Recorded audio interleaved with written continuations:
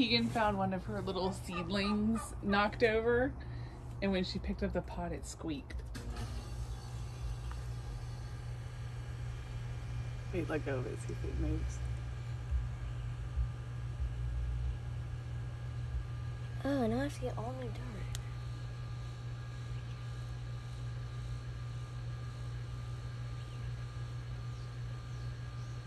It's right here, Okay.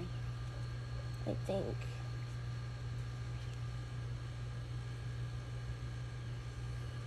I'm dumping it out.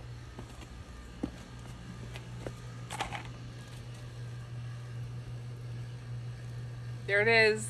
Wait.